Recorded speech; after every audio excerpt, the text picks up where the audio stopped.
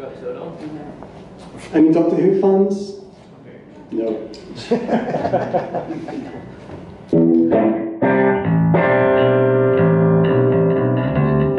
cool. This is a new song, but if you haven't seen us, they're all new to you, so. It's called Creighton. Thank you.